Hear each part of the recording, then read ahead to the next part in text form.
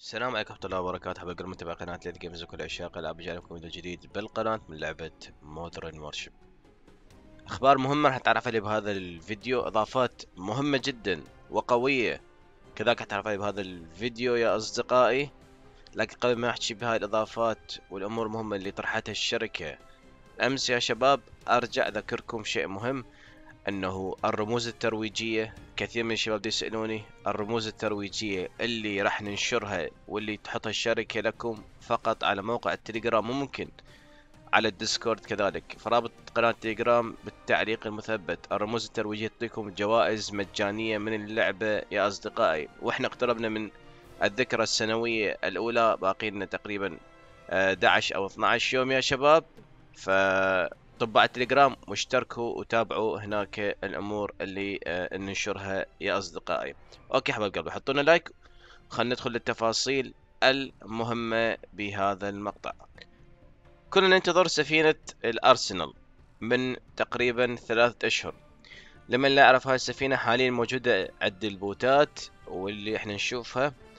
فالشركة أعلنت عن تفاصيل التسليح الشبه نهائي. لهاي السفينة وتعديلات كثيرة صارت على هاي السفينة.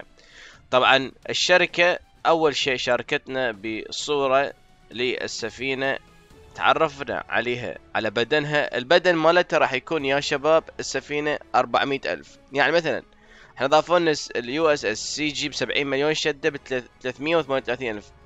البدن مالته راح يكون 413 ألف. أي تقريبا خلينا نقول قريب من الناخيموف البدن مالتها التسليح مال أرسنال تمتلك أربع صواريخ للإطلاق وتمتلك أربع راجمات يعني X أربعة وتمتلك مدفع railgun لكن مختص بالأرسنال يعني مثل المدفع اللي ضافوه على السفينة الصينية ال CN Type كان هذا المدفع الكهربائي. الآن أكو مدفع خاص بالأرسنال. وهذا المدفع يا شباب يطلق ثمان إطلاقات كل إطلاقة 3000 damage. مجموع ال damage يكون 24 ألف. يا أصدقاء يعني أنت إذا تصيب الهدف 24 ألف damage. كأنما أنت عندك مدفع مونراك أو مدفع الجديد TMF تطلق بإطلاقة واحدة. لكن هذا ثمان إطلاقات كهربائية على السفن أو الغواصات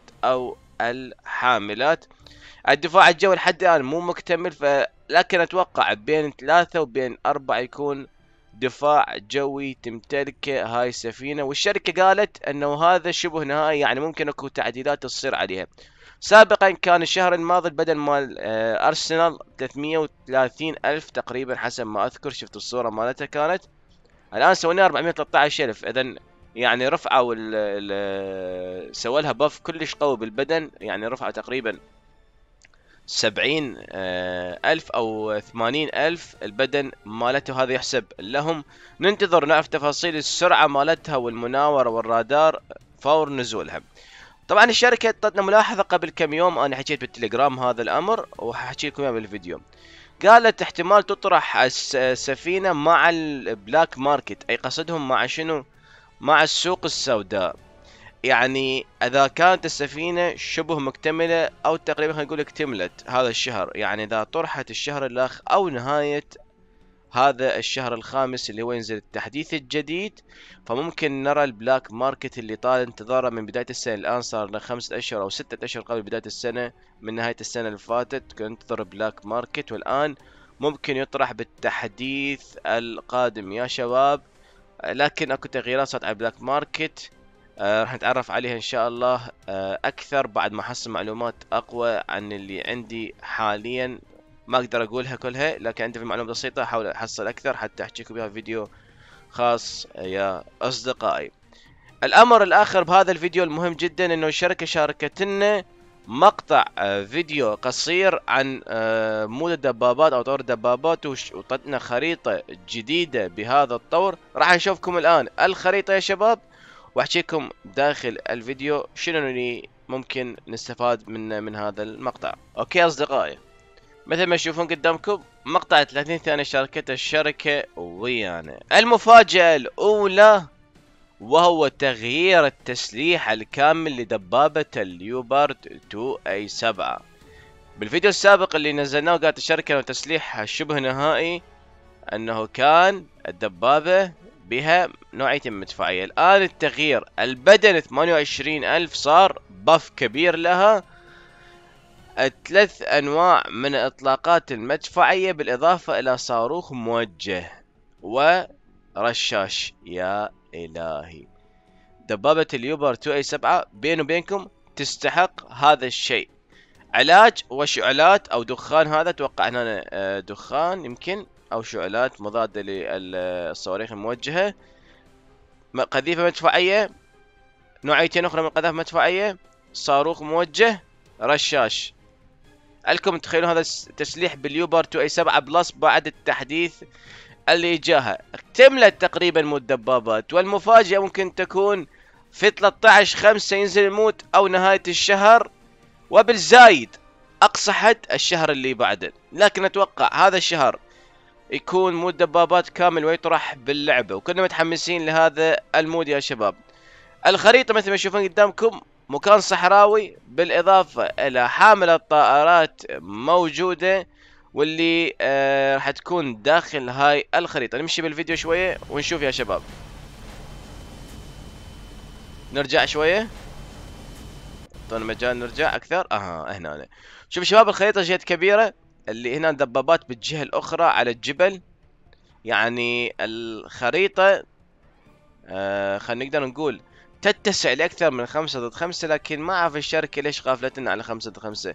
على الأقل مدببات لو يكون سبعة ضد سبعة أو عشرة ضد عشرة يكون ممتاز جدا وحماس أكثر من خمسة ضد خمسة يا أصدقائي. نمشي الفيديو أكثر.